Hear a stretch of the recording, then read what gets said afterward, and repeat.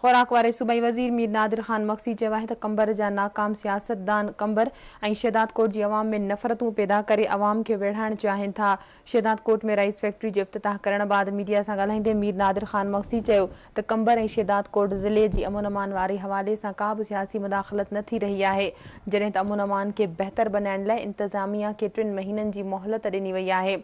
हुन चयो त कंबर जा नाकाम सियासतदान कंबर ऐं शेदादकोट जी आवाम में नफ़रतनि जो ॿिज पोखे रहिया आहिनि मीर नादिर मक्सी चयो त नादरा ऑफ़िस तयारु थी चुकी आहे जेका पंद्रहनि ॾींहनि अंदरि पंहिंजो कमु शुरू कंदी जॾहिं त पब्लिक स्कूल जी पी सी वन तयारु आहे जेका जल्द मंज़ूर कराई वेंदी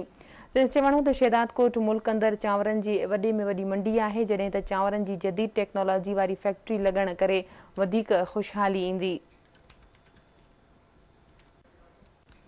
पीपुल्स पार्टी जे अकिले M N A Ramesh Lal चयो आहे त शहीद राणी महतरमा बेनज़ीर भुटो जे मिशन ते हलंदड़ पीपी हुकूमत रिकॉर्ड तरक़ियाती कम कराया आहिनि शेदार्थ कोटबर सां सतार शाह में बिजली जी फरहमी जे इफ़्ताह करण बाद मीडिया सां ॻाल्हाईंदे M N A Ramesh Lal चयो त कैन सदर आसिफ़ अली ज़रदारी हिदायतूं जारी कयूं आहिनि जंहिं बि ॻोठ में बिजली नाहे उन ॻोठ में बिजली जी सहूलियत फ़राहम कई वञे हुन चयो त पीपी जी जमूरी हुकूमत रिकॉर्ड तरक़ियाती कम कराया आहिनि ऐं हज़ारे बेरोज़गार नौजवाननि खे रोज़गार फ़राहम कयो आहे